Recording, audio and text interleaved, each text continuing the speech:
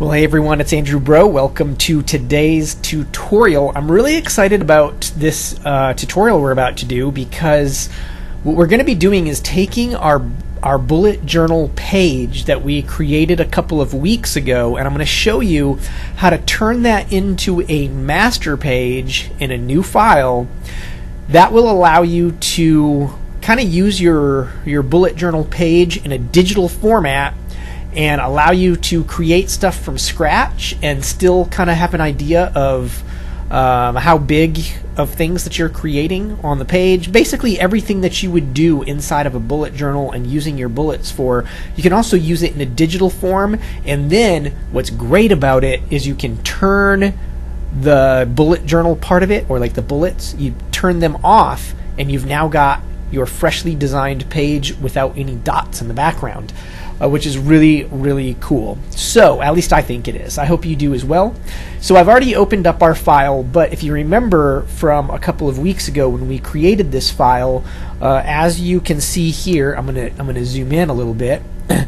we took the dots out from the left hand side, the first row left hand side of page one, and in page two we took uh, let's see, my computer's going to be a little slow today. Um, we took out the, the row on the right. We really don't need to worry about anything from page 2 because what I'm going to show you right now, uh, we only need page 1 because uh, it only works off of the, a- the active page that you're in. Whoops, uh, get out of that.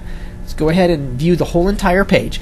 So what I'm going to do is I'm going to start way up here and I'm going to click and drag over top of this first row of dots.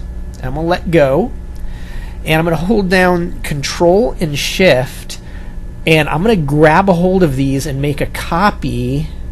And I got to move kind of slow because my, my computer's trying to do a lot of processing right now. As you can see, it's working really, really slow. But now, uh, when I go ahead and zoom in here, whoops, I did not mean to do that. When I zoom in here, you can see that we've created we've created that, or basically recreated that row um, over here on the side. With that all done, we're going to go up to File, and we're going to say Save As. I'm going to go ahead and we're just going to drop this inside of the Happy Planner Pages uh, folder that I created. And I am going to, underneath the Save As type, I'm going to drop down and I'm going to make this into a PNG or a Portable Networks graphics format. Um, I'm also going to change the resolution on this and I'm going to go ahead and say high resolution for uh, printing or commercial press 300 dpi and we'll go ahead and say OK and I will leave it as bulletjournalpages.png and say save alright so now we are all done uh, actually it's, it's taking a little bit so you notice that my computer slowed way down I kind of get this little a spinny thing. Not only am I doing the screen capture recording on my computer, but we're working with a file with all those dots inside of separate. Um, uh, everything's inside of a separate text box, and so it's really, really slowing down my computer right now. So we're just going to give it a second here and wait for the computer to respond. Awesome, there we go. Um, it took about 30 seconds, uh, maybe almost a minute before my computer finally responded. Now I can go ahead and close out of this file. I'm, I'm going to tell it not to save those changes I made. I don't I don't need to anymore, and I want to preserve that file in case I want to go and print out some more bullet journal pages. Uh, so now what I'm going to do is is I'm going to open a new publisher document. Go ahead and make it a blank, eight and a half by eleven. Um, and the first thing I'm going to do is I'm going to right click over here in the page navigation. I'm going to right click on the page, go down to master pages, and say edit master pages. I'm going to go to the page design tab, tell it to do zero on the margins, so no margins. And then from the insert, I'm going to say a picture, and I'm going to go into the Happy Planner page. There's our PNG. So wherever you saved your PNG, um, you're going to go find that and double click. Now notice it did not um, make this the exact size of the page, and the reason is is publisher thinks that it's smarter than you and knows what it, it wants it thinks that it knows what you want to do, and so it's trying not to put it all the way out to the edge because it knows it needs like a quarter of an inch of space where it's not going to print, so it shrinks it down. Um, but we actually want to expand this, so we're going to grab a hold of this corner and drag it out until we see the blue lines light up and then let go. And we're going to go ahead and grab the bottom corner opposite it and drag it out until we see it bump into um, you know we see that light the blue line light up. Blue lines light up good. We, and we let go.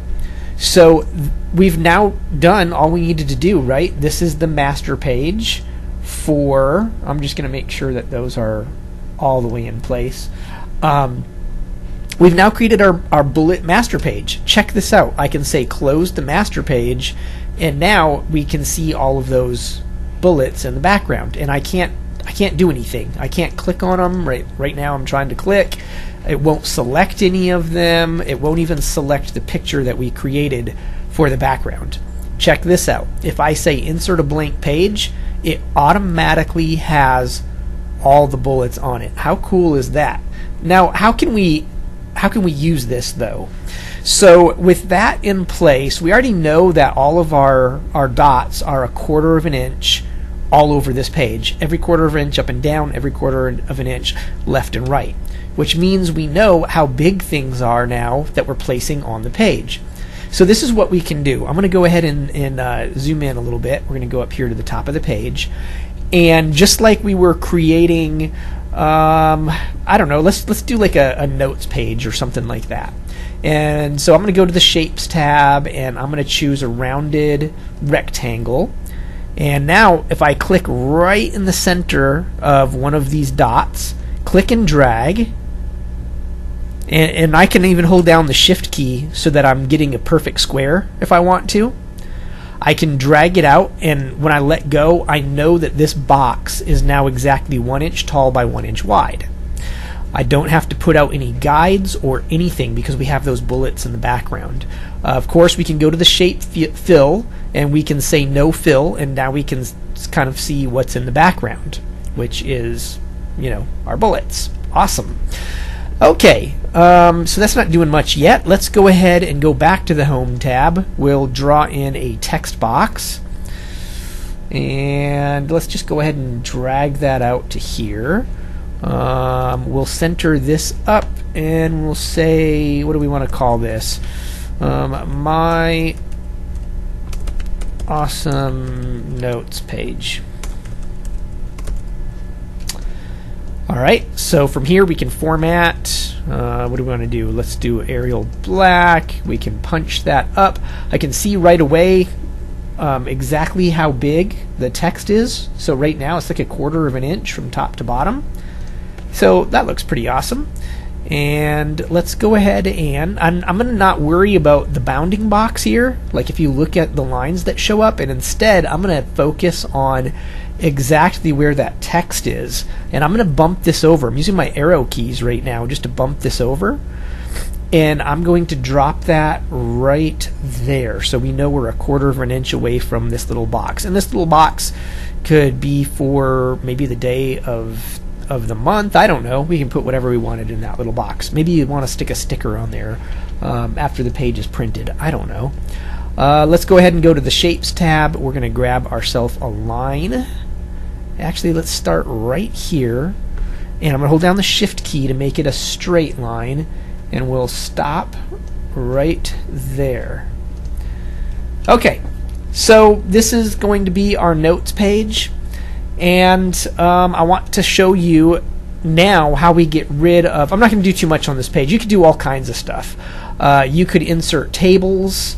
Um, you know, I can say, hey, let's go ahead and insert a table. Uh, let's do it a two by six, um, and we could we could do all kinds of of formatting on this on this table now if we wanted to. Uh, we could create lines. There's so much you can do with it. Anyways, beside the point. We're going to get rid of that. What I wanted to show you is, is once you're all done designing, you can design stuff all over this page. Once you're all done, all you have to do to get rid of the dots everywhere is come over to the page. Now, there's two ways to do this. One, you could go through your whole entire file. You could add as many pages as you wanted. And when you're all done designing all your pages, you could just go into the master page and say, um, edit the master page, and you could delete this out. So let's not delete it. Let's just slide it over here to the side. Say close master page, and now it's going to be gone from every one of your pages. So you want to do that the very last thing after your entire file is all done. Um, but if you want to just design one page and then turn things off, let's uh, undo this. There we go. Um, you want to be able to just turn off the dots so that you could re-add them in later really easily. You can right click on the page, go down to master page and say none. And now you'll notice it left the master page. And if I come down here and say insert a blank page, it's still applying the A master, but this page is all done. So now, boom, we zoom out and we have my awesome notes page, which is not really that awesome. It's super bland, but at least you got the idea of kind of what you can do and, and how big that it's going to be. Make sense? Um, I think that's going to be it for this video. I'd love to see. I don't. I don't want to show too much of what you can do because I want you to use your imagination and jump in and do some awesome stuff. So um, yeah, drop down in the comments and let me know what you think and if this is helpful for you. And uh, that's going to be it for tonight. I look forward to seeing what you guys are able to create. As always, if you're not already following the channel and you're loving these videos and want to see more, please subscribe so you'll get updates every time a new video goes live. And I'll see you in the next video. Bye bye.